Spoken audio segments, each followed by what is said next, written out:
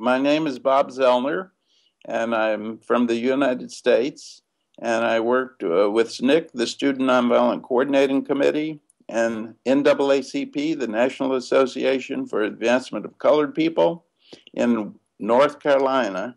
I'm from Wilson, North Carolina, and I also work with the School for Conversion in Durham, North Carolina.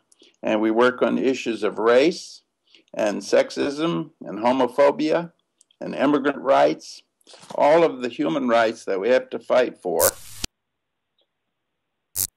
I'm in the little guest house uh, at Eureka College in uh, Eureka, Illinois. Uh, it's the home state of both President Lincoln of the United States and President uh, Obama. And this campus where I'm speaking tonight is the alma mater of President Ronald Reagan. So I'm in the middle of conservative Midwest uh, talking about Black history. Lecturing and doing media things like I'm doing with you today uh, is just a way of um, of intensifying the effect of our grassroots work. But um, the moral movement that's now sweeping the country is a continuation of the struggle of Martin Luther King and the Student Nonviolent Coordinating Committee, SNCC, which I was a part of. Uh, it, it's a 50 to 100 year struggle that we're undertaking. And what I'm doing in North Carolina is very similar to what I did in the Deep South 50 years ago. And so I was recently arrested, and it was the 18th time that I've been arrested. I've been arrested 18 times uh, because of my human rights work.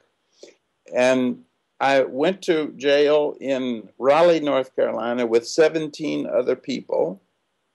And within one year, over a thousand people went to jail. So it's just like 50 years ago when black students sat in at the lunch counters and it began a civil rights and human rights revolution 50 or 60 years ago. What we've done in our Moral Mondays movement in the United States, the new civil rights movement, the new human rights movement that is now gripping our country and will uh, be our history for the next quarter of a century, that movement has now seen that all of these issues are related in such a way that you can't work on one without working on all of them. So, what the uh, ruling class has always done is to try to keep people who are working on climate separate from people who are working on race, from people who are working on education, from people who are working on jobs. Now we're putting that all together, and the ruling class is trembling. 100,000 people at one time, the largest demonstration in the history of the civil rights movement, occurred just last February in Raleigh, North Carolina. And it wasn't covered by the United States media because they're controlled by the capitalists and the 1%. See, there's a general uh, human rights movement in the United States of thousands, hundreds of thousands, of millions of people but because the right wing has been so successful in concentrating wealth beyond all measure, we slowly developed uh, or uh, regressed from some form of democracy to um, an autocracy uh, of wealth. And it's worldwide now. Um, and that's one of the things that's bringing uh, human rights workers around the world together. So in the United States now, they're um, through the Moral Mondays movement or the Moral movement, uh, the Occupy movement, the I Can't Breathe, uh, the the um, war on black young people. All of these things are coming together under the leadership of Dr. Barber and a few other national leaders it's coming to a point where we're beginning to take back some power. Maybe the biggest successes was um, taking uh, these weapons that uh, that the ruling class wants to use. In other words, the ruling class would like for all decisions to be made by white people who are male, who are property owners and wealthy. So um, I think that the biggest uh, success that in my 50 years of activism or more has been to take those weapons that they use to accomplish that and to um, to take them away from our enemies.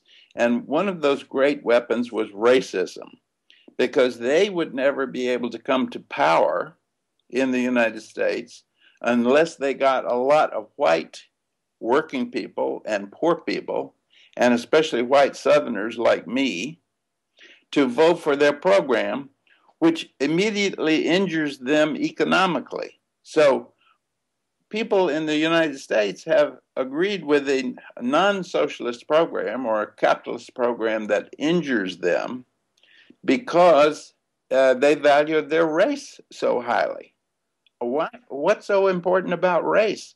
Well, the reason the ruling class makes it so important is that people will impoverish themselves and they will injure the, their own economic um, well being in the name of race and homophobia and anti immigrant and anti women. So, all of those things are something that a person concerned about human rights has to battle.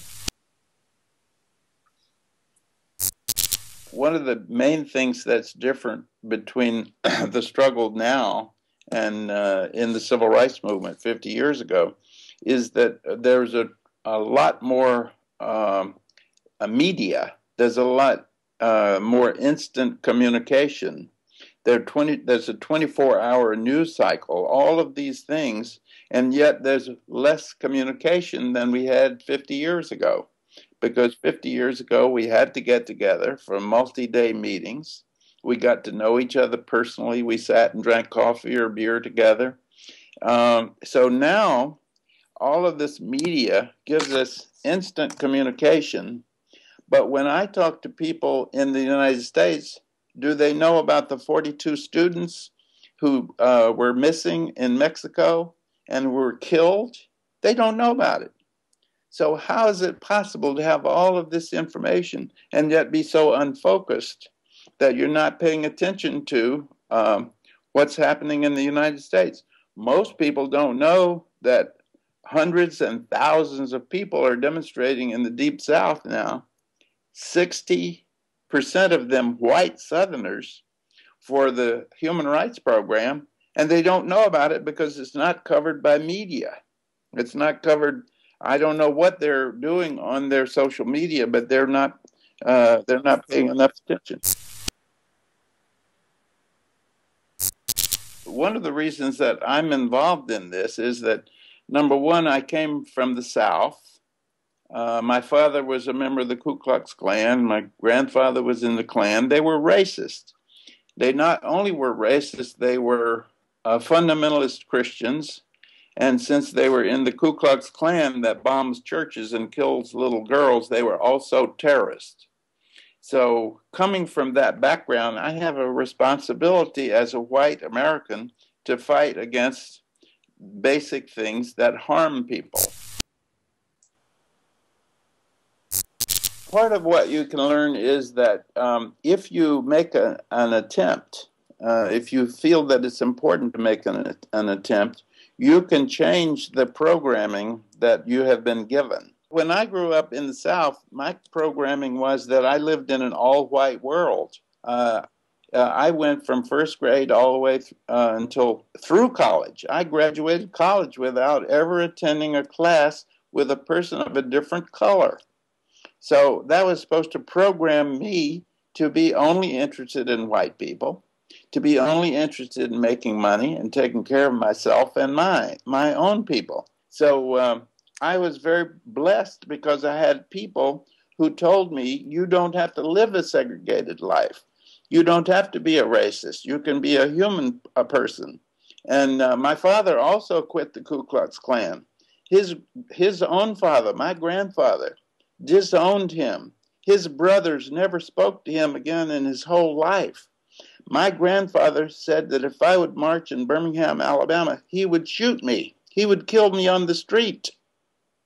So I think uh, what people can learn from my experience is that no matter where you come from, no matter how backward you might be, no matter how looked down upon, you can overcome anything in your life if you want to. And some people want to do good for the major uh, group of people, for, for the most people, and some people only want to do good for themselves. So it's up to you to choose. And my life, if it means anything, means that you can choose something other than you started out with. People are still afraid of uh, taking a stand.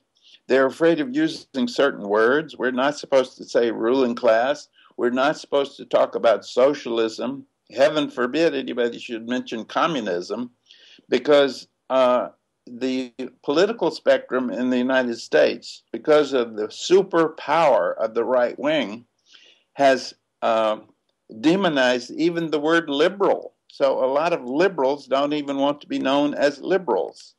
So uh, part of the uh, liberation struggle is to have people have a little bit more courage. Would you spend your whole life working for people to get more power and money for people who already have more power and money than they can use? Or would you spend your life working for poor people, for uh, the downtrodden, um, for people who are oppressed? I think we should work for the oppressed and uh, and not be worried about the consequences. I've survived for 75 years. Uh, or at least 50 years in the movement. They haven't killed me yet. They killed some of us, but the rest of us keep going. If someone falls, we pick up the banner and keep going.